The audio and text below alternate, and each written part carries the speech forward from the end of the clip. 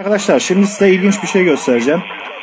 Telsize gürültü yaptıran faktörlerden birincisini arabada mesela test etmiştim bir e, şarj aletinin aküyle çalışmasına rağmen 12 voltluk bir e, telefon şarj aletinin ne kadar sinyal ürettiğini bizim telsizimize ne kadar gürültü yarattığını göstermiştim.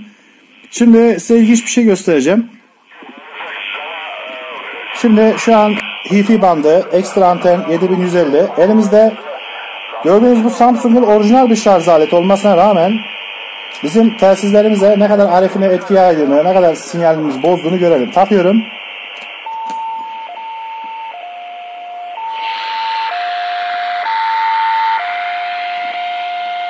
Çekiyorum.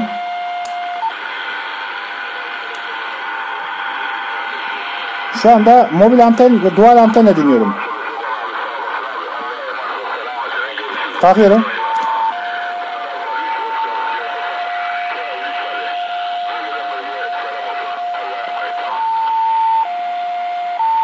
Bakın şu an.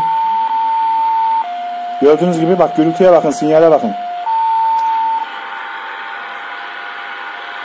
İlginç değil mi arkadaşlar? Bakın. Şimdi işin ilginç tarafı ben 5 dakika önce aşağı bahçeye indim. Bahçede bir deneme yaptım. Cihaz anteniyle dinleme yapıyor mu yapmıyor mu diye. Aşağıda cihazın kendi anteniyle dahi bu sesi o kadar yüksek bir şekilde ve ben zannediyordum ki frekansta birisi Morse sinyali gönderiyor gibi bir CW sesi var zannediyordum. Ama meğersem benim evimdeki şarj aletiyle alakalı bir durummuş. Bu sesi ben ta dışarıda evin bahçesinde bile duyuyorum arkadaşlar. O kadar diyeyim size bakın.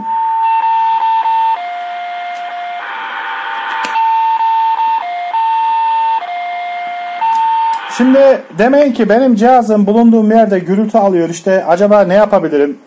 Emin olun pek bir şey yapamazsınız. Üst komşunuz bunu taktığında siz de aşağıda telsizle konuşuyorsanız cihazınız dinlemeye geçtiyse böyle bir uyduruk bir şarj aleti taktıysa aslında uyduruk değil kaliteli olanlar da takıyorsunuz. Bazen oluyor bazen olmuyor. Ben buna hala anlam vermiş değilim. Bazı cihazlar etkiliyor. Mesela dur bakalım şu şu şarj aleti HTC'nin şarj adaptörü var takılı. HTC'ninki etkilemiyor ama Samsung'unki düdük gibi öttürüyor gördüyseniz. Şimdi komşun böyle bir adaptörü var. Telefonunu şarja taktıysa sen aşağıda telsizinde konuşamazsın. Ha bunun çaresi nedir? Tek tek gidip bütün hepsini ziline basıp birer tane adaptör dağıtacaksın kalitelisinden. Ya da sinyalin nereden yayıldığını bulup diyeceksin ki senin uydu cihazın adaptörü benim telsizimi etkiliyor. Ben sana bir adaptör getireyim.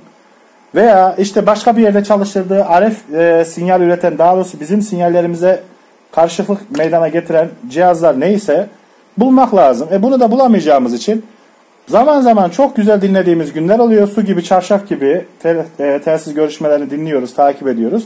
Zaman zaman tam tersi hiçbir sebep olmaksızın biz zannediyoruz ki atmosferik parazit işte kanal bugün gürültülü diyoruz. Aslında kanal gürültülü değil. Yukarıdaki arkadaşımız veya diğer odada bir arkadaşımız, birimiz bu fişi buraya taktığında böyle bir ses gelebiliyor. Gördüğünüz gibi ne kadar basit bir şey. Ama telsizcilerin en nefret ettiği olaydır. Böyle bir durumla karşılaşabilirsiniz. Bilginiz olsun. TV7 Bravo Juliet Bravo burası. Kayseri'den hepinize selamlar.